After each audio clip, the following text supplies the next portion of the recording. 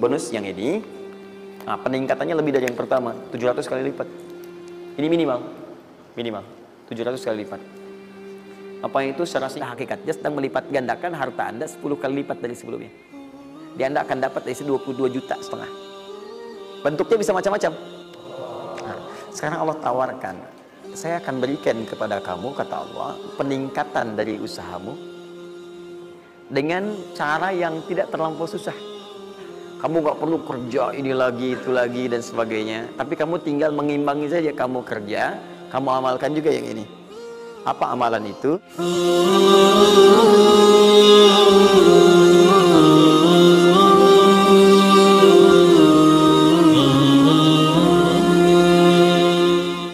Bismillahirrahmanirrahim. Surah ke 14 ayat 7 Tadi Quran surah ke-9 ayat 100 berapa tadi? 3. Quran surah 9 ayat berapa tadi? 60. Yang bonusnya jangan lupa masih di dalam kotak. Quran surah kedua ayat 261 sampai ah, pinter. Ya, alhamdulillah. Kotak wajib dihafal.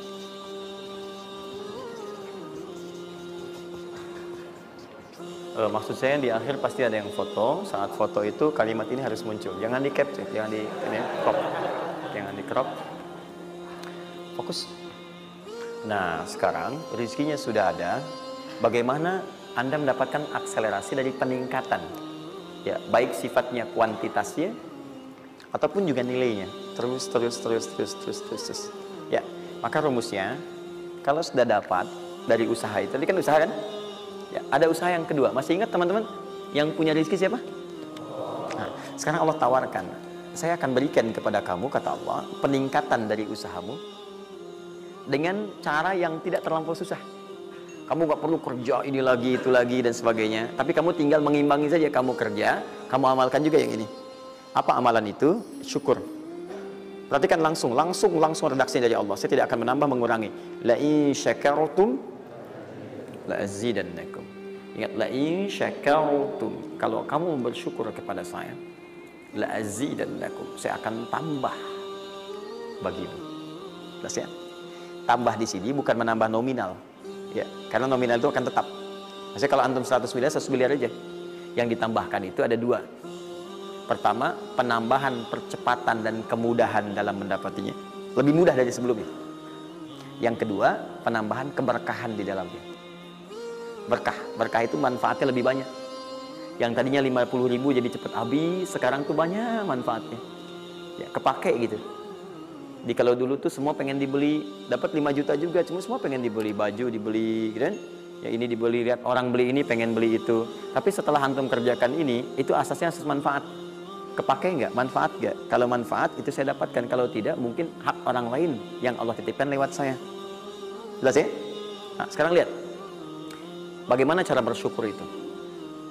Cara bersyukur itu ada dua. Ya, saya percepat dan di sini kita berakhir. Saya cuma tinggal punya waktu dua menit lagi, maka saya percepat kalimat saya. Satu, cara bersyukur itu satu keluarkan dari harta itu bagian zakatnya kalau sudah memenuhi unsur zakatnya.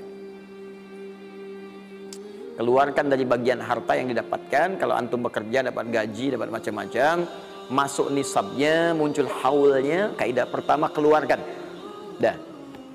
Keluarkan. Tidak usah mikir, nggak usah macam-macam. Dah, dua setengah persen keluarkan. Itu dua setengah persen itu paling minimal. Kalau mau lima persen keluarkan. Ingat rumusnya, kenapa disebut zakat? Di antara makna zakat itu adalah annama sesuatu yang berkembang, nambah. Ya. Zakat itu ada at-tahara, ya, an-numu, ya, sesuatu yang berkembang. Di dalam bahasa Arab sekarang investasi disebut dengan annama wal istifmar, sesuatu yang diinvestasikan. Jadi ketika Anda zakat sebenarnya bukan mengurangi harta, menginvestasikan harta untuk ditambah. Minimal 10 kali lipat dari sebelumnya. 10 kali lipat. Jadi kalau Anda misalnya keluar zakat, taruhlah misalnya 25 juta ya, Anda dapatkan. Terus 2,5 persennya diambil dari situ berapa? 2,25 ya, 2 juta 2,5. Eh, anda keluarkan tuh maka Anda pada hakikatnya sedang melipat gandakan harta Anda 10 kali lipat dari sebelumnya. Di Anda akan dapat dari 22 juta setengah. Bentuknya bisa macam-macam. Ingat, rezeki itu kan bukan hanya uang. Tadi saya katakan. Ya, bisa jadi proyek baru datang nilainya segitu. Bisa jadi apa lagi? Bisa jadi dijaga kesehatan, nggak sakit selama sebulan. Biasanya cek lab ini itu dan sebagainya, ya kan? Kolesterol macam-macam habisnya segitu. Bulan itu nggak ada apa-apa. Anda berkata, Alhamdulillah nih sekarang saya kelihatan sehat, gini-gini, hasilnya positif. Padahal Anda itu dihasilkan lewat zakat, lewat macam-macam. Nah, misalnya nggak ada konflik, nggak ada masalah di hari itu, yang kalau diselesaikan nilainya 22 juta. Masa marah dengan istri macam-macam macam. Mama kenapa sih mah gini gini gini? Papa mau damai. S9 Note. Wah, beli S9 Note harga 15 juta ya. Tambah lagi 7 juta laptopnya misalnya kan dan sebagainya. Misal, tek, habisnya segitu juga. Jadi dijaga oleh Allah menambahkan mendapatkan penambahan bisa berupa langsung nilainya, nominalnya dapat proyek yang lain atau dijaga untuk mendapatkan yang non materi tadi. Paham? Maka saya katakan pada Anda, kalau sudah ada kewajiban zakat, maka jangan berpikir menunda. Cepat berikan saat itu, maka seketika Allah akan lipat gandakan apa yang Anda telah usahakan itu. Jelas? Jadi yang pertama, kalau sudah ada kewajiban zakat, cepat ambil. Bahkan, nah ini saya mau ambil komitmen. Saya mau ambil komitmen. Siap mengikuti ini? Siap berkomitmen insya Allah? Bahkan Allah langsung meminta kepada yang punya otoritas atau juga teman-teman di sampingnya untuk saling mengingatkan bahkan kalau punya otoritas langsung ambil saking inginnya Allah harta orang itu tuh terus bertambah maka turunlah Quran surah 9 ayat 103 khud min amwalihim sadaqah tutahhiruhum wa tuzakkihim biha Muhammad kalau dia lupa atau yang lain ambil aja deh ambil aja ambil dari harta dia itu kalau sudah mencapai nasabnya nisabnya sudah ada haulnya sudah sampai ambil. Apa tujuannya? Sedekah. Perhatikan zakat disebut dengan sedekah. Sedangkan sedekah tidak disebutkan dalam rumus bahasa kecuali kullu ma'rufin sedekah. Semua semua yang baik-baik disebut dengan sedekah. Kata Allah, saya ambil itu bukan ingin mengurangi kamu, tapi ingin membuat kebaikan untukmu. Apa kebaikannya ya Allah? Wa tuzakkihim. Tuzakki dari kata zakat yang punya arti dua tadi, menyucikan jiwa plus yang kedua menambah apa yang telah kamu dapatkan itu. Jadi kamu tuh jangan nanti kotor hati kamu karena terlampau banyak ini fokusnya ke situ banyak banyak tapi kamu nggak pakai. Maka saya biarkan kamu dengan mengeluarkan zakat itu supaya bersih hatimu punya nilai berbagi dan tidak terlalu bergantung kepada harta dunia yang kamu akan tinggalkan kelak. Dan yang paling dahsyat kalau kamu kerjakan saya tambah kemudian kualitasnya, saya tambah keberkahannya, bahkan saya permudah untuk mendapatkannya. Lihat sampai sini. Bonus yang ini nah, peningkatannya lebih dari yang pertama, 700 kali lipat. Ini minimal. Minimal. 700 kali lipat. Apa itu secara singkat? Infak. Infak.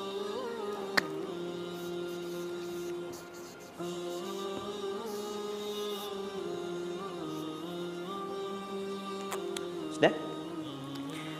مثل الذين ينفقون أموالهم في سبيل الله كمثل حبة أنبتت سبع سنابل في كل سنبلة مئة حبة الله يضاعف لمن يشاء والله واسع عليم sampai ke ayat 263 sampai ke qaulul ma'ruf ya dan seterusnya.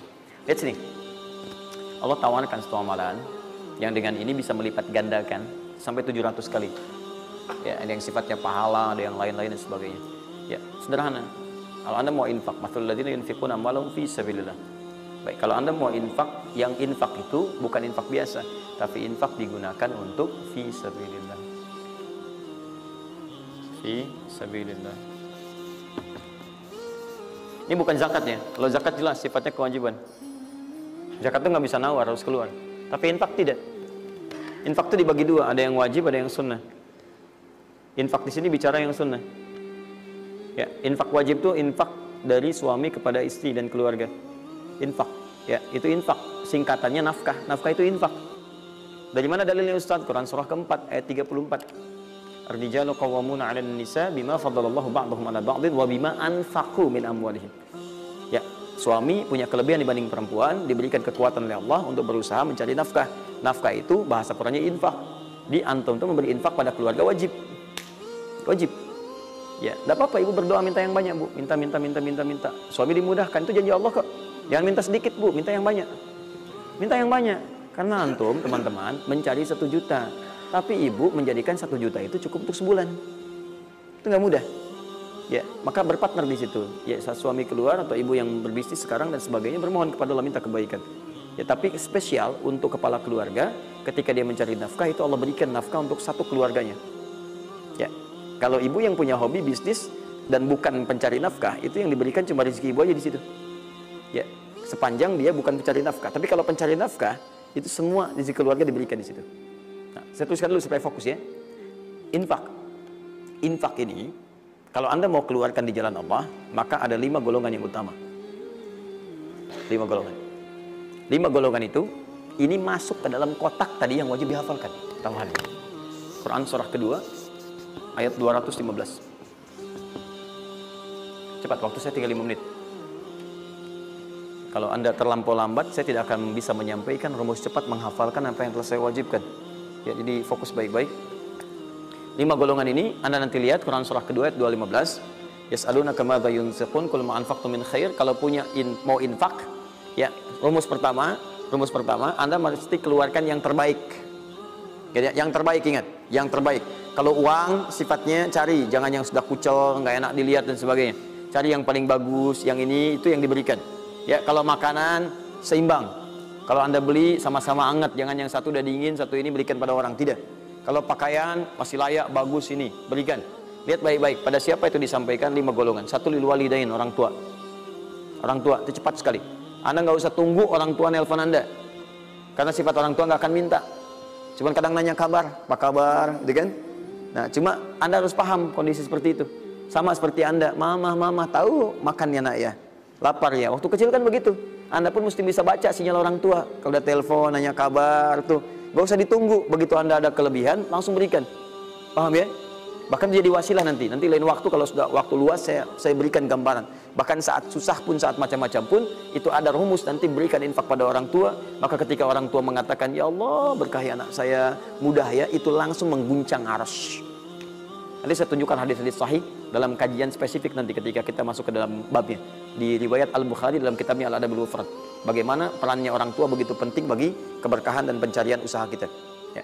Kemudian wal akrabin kerabat terdekat. kerabat terdekat. Kerabat terdekat itu sifatnya ada dua. Bisa kekeluargaan, ya keluargaan, anak paman, bibi, ya ponakan macam-macam dan sebagainya. Ya kemudian bisa juga tetangga kita nih yang samping-samping akrobin yang paling dekat dengan kita. Mereka itu sangat menentukan. Kalau antum nggak perhatikan, berbahaya juga bagi kehidupan antum. Antum sukses di kantor, tapi nggak perhatian sama tetangga. Begitu ada maling macam-macam, malah didorong tuh sama tetangga. Biarin aja, habisin, habisin, habisin. Bukan, memang nggak pernah perhatian sama kita kita, biarin aja gitu kan. Nah itu kan yang yang repot ya. Waliyatama, anak yatim tiga. Yatim, yatim itu cepat sekali. Tapi jangan berlebihan. Ya nanti saya terakhir saya tutup lah yatim oleh masakin orang miskin orang miskin wabni sabil orang yang kesulitan di jalan. Ya orang yang kesulitan di jalan. Anak siapa pun dia sepanjang dia sedang kesulitan sifat orang kesulitan itu kalau dibantu maka suara dia itu akan langsung memberikan jawaban kepada anda. Jelas ya? Baik tahan sini tahan. Fokus teman-teman. Termasuk ibnu sabil di situ nanti termasuk ibnu sabil di situ itu ada yang diartikan dengan orang-orang yang semacam belajar. Ya, kalau di luar itu banyak yang kayak ngasih beasiswa ke orang yang belajar, yang sebagainya. Ada yang pengajar, ada yang macam-macam. Itu cepat juga itu. Nah, mempraktekkan kelima itu pakai rumus yang ini yang tadi, yang 261263. Lihat ya, lakukan karena Allah bukan karena yang lain. Paham ya? Dan melakukan karena Allah itu diarahkan untuk mendekatkan diri kepada Allah. Lihat cara infaknya, lihat cara infaknya. Misal, antum ingin ngasih misalnya kan? Nih, saya mau ngasih pakaian. Pakaian yang Allah sukai. Kasih baju koko, kasih sarung, ya kan? Bisa kalau dia mau sekolah kasih perlengkapan sekolah, berikan mushaf, berikan mukena, berikan macam-macam ya untuk misalnya biaya sekolahnya. Kalau bisa bergantung pada antum sekolahkan ke tempat yang Allah sukai dan sebagainya, itu cepat sekali investasi dan pahalanya nggak akan nggak akan berkurang, ngalir terus. Jadi kalau dia baca Quran untuk dapat pahala dan seterusnya. Dan itu sampaikan dengan cara yang bijak. Kalau sudah ngasih, saran saya lupakan. Jangan diungkit-ungkit, lupakan. Makanya bahasa Qurannya qaulun ma'rufun wa maghfiratun khairum min shadaqatin adza. Kata-kata yang baik ya dan maghfirah, permohonan ampun, maaf. Ya kalau nggak bisa ngasih minta maaf, langsung kemudian lupakan. Jangan diungkit-ungkit jangan macam-macam supaya tidak hilang pahalanya. Begitu sudah itu dilakukan, itu lebih bagus. Bahkan saat antum nggak punya pun berkata baik lebih bagus daripada ngasih tapi sering kali diungkit-ungkit atau dengan kalimat yang tidak menyenangkan. Dikasih gitu kan, aduh mas terima kasih ya sudah dibantu gini-gini nggak apa-apa itu kan rezeki cuma titipan dari Allah hak ibu juga hak kita bersama, ibu kan miskin, misalnya, ah, itu paling nggak enak. Ya. Dah cukup, saya tutup. Ini yang eh, saya mohon maaf ya, mungkin teman-teman yang lain punya kebiasaan. Saya tuh kalau ada ulama atau yang lain baik, saya contohkan dari sana. Tapi kalau nggak ada atau ada pengalaman kita yang baik, yang kira-kira tidak menghadirkan perasaan yang berlebihan, saya bagi mungkin antum bisa ikuti. Nah, saya coba membiasakan yang orang-orang dulu biasakan, guru-guru saya biasakan, dan itu pengaruhnya sangat dahsyat. Kalau antum mau lebih cepat lagi, biasakan begini. Menerima pendapatan dari mana pun, walaupun bukan gaji atau apa pun, cobalah antum keluarkan dari situ, niatkan sebagai sedekah.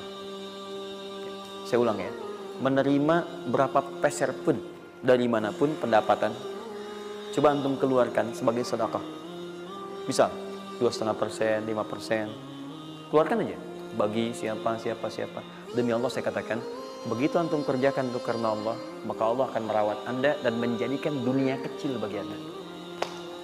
Apa pun yang anda butuhkan, ada, ada, ada, ada, dan kecil sekali. Dan anda sudah nggak melihat nggak ada nilainya tuh dunia itu. Ya, jadikan kebiasaan itu. Kalau ada pakaian sudah anda pakai, datang lagi yang baru ini yang lama kasih aja yang layak dipakai dan sebagainya. Seperti itu biasakan, biasakan. Begitu Anda biasakan, nanti Allah jadikan kecil dunia bagi pandangan Anda. Ada nilainya. Dah, dah, dah, dah, dah, dah. Paham ya? Itu kalau Anda mau ikuti silahkan, atau kalau mau bertahan di yang pokok silahkan. Saya sudah katakan, saya tidak akan menambah waktu lagi, karena sudah jam 10. Pas 20, 12 menit dari apa yang saya minta. Dan saya tutup dengan kalimat, kalau ingin dimudahkan menghafal ayat-ayat yang disampaikan, maka caranya cuma dua. Satu, yakinkan antum bisa menghafalkannya. Yakin jangan ragu. Bisa, bisa, bisa. Yang kedua, anggap mudah. Anggap mudah. Pokoknya kalau sedang ada merasa susah, mudah, mudah, mudah. Bisa insya Allah. Ya, siap? Ya. Mudah atau susah? Yakin? Berapa ayat tadi? Sedikit. Itu banyak tuh jadi susah. Saya ulang, jangan pulang, jangan pulang, jangan pulang. Mudah atau susah? Mudah atau susah? Yakin? Nah, berapa ayat? Oh, luar biasa. Alhamdulillah. Baik teman-teman, saya kira cukup hari ini. Ini kita pembuka. Jangan khawatir sekali lagi, Anda yang tertinggal sudah saya siapkan. Ini ada tiga lembar. Insya Allah jadi panduan kita, bahkan jadi buku insya Allah. Ya, kapan diberikan ini? Luar biasa. Baik ya. Subhanakallahumma bihamdika asyhadu an la ilaha illa anta astaghfiruka wa atubu ilaik. Wa akhiru da'wana alhamdulillah rabbil alamin. Wal minkum. Pintu masjid ini hanya ada tiga. Satu, dua, tiga. Dan pekan depan, pintu itu hanya dibuka dengan ayat-ayat Quran. Assalamualaikum warahmatullahi wabarakatuh.